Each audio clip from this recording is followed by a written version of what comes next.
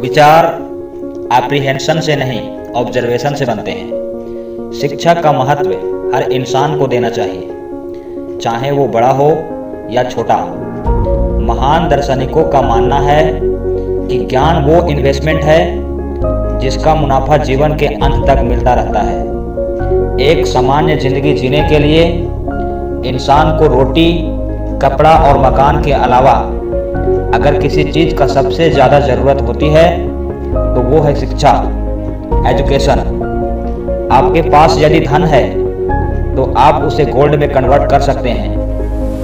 धन हो या सोना, दोनों का कम होने का डर हो सकता है। पर यही धन, अगर नॉलेज में कन्वर्ट करते हैं तो वो कभी कम नहीं होगा, और ना ही उसकी चोरी हो सकती है। Money ladies and gentleman any can be steal but knowledge can not be stolen from you दोस्तों, यदि मैं पूछूँ कि सबसे शक्तिशाली व्यक्ति कौन है तो आपके मन में विचार आएगा कि जिसके पास धन है, सोना चांदी है, हीरे जवाहरात है, जो देश का राजा है, या किसी सल्तनत का वारिस। लेकिन दार्शनिकों का मानना है कि मनी सोना चांदी, हीरे जवाहरात, किसी इंसान को पावरफुल नहीं बनाती। अगर बनाते भी हैं तो वो कुछ समय के लिए बनाते हैं। दौलत आज होगी, कल नहीं, शस्त्र का ज्ञान तभी तक काम आएगा, जब तक शस्त्र चल सकता है। Once it is use they become obsolete पर शास्त्र का ज्ञान कभी नहीं रुकता।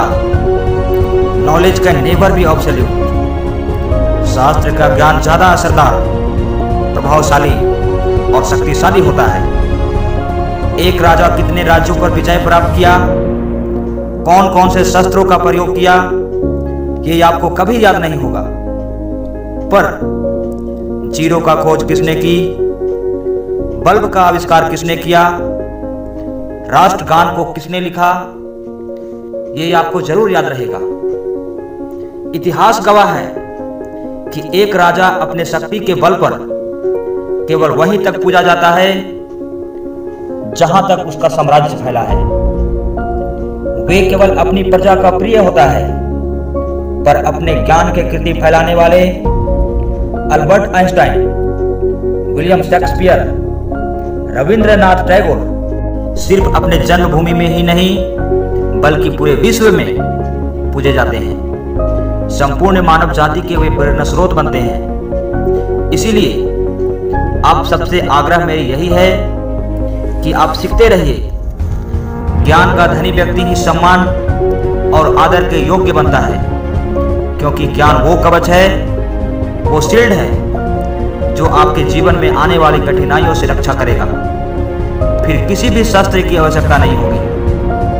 Never stop learning because learning is never stops दोस्तों वीडियो अच्छा लगा तो ही लाइक करना शेयर करना और हमसे जुड़े रहने के लिए इस चैनल को सब्सक्राइब ज़रूर करना। धन्यवाद।